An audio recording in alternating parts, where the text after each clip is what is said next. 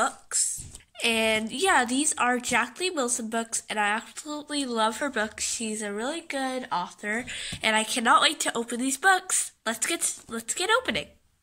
Okay, so I have you up on my ring light. So yeah.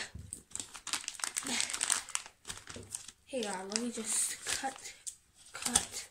There, I got a hole.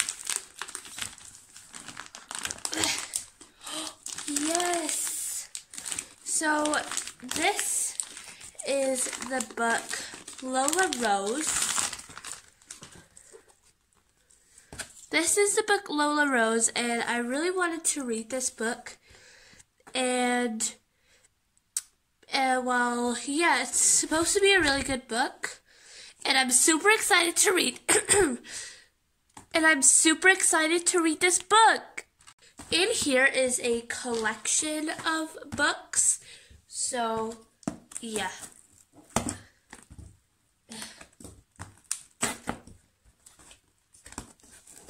Just gotta be careful not to cut the packaging.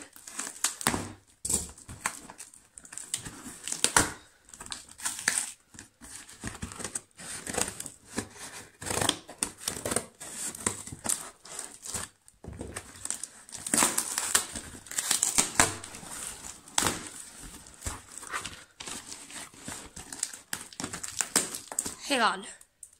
Okay. Okay, so I finally got this box open. Yay! Here it is. Oh.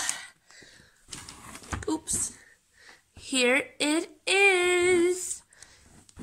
All my new Jacqueline Wilson books. Here is one side. I think this is Midnight, and I think, I'm not sure who that is. This might be Lottie. I've never read any of these three books before. But uh, here's all the books that comes with it.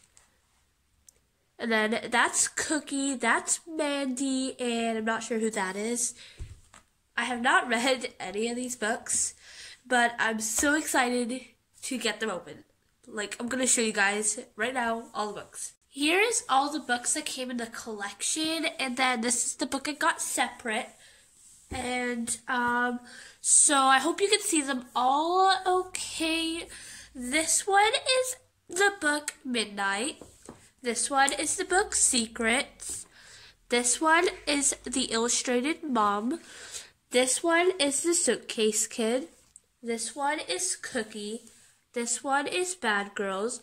This one is Sleepovers. This one is Lottie, the Lottie Project. This one is Clean Break. And this one is the Bed and Breakfast Star. And like I said, this one's Lola Rose. Out of all these books, the very first book I will probably read, not too sure yet, is probably Lola Rose, since I've heard a bunch of good reviews about that book.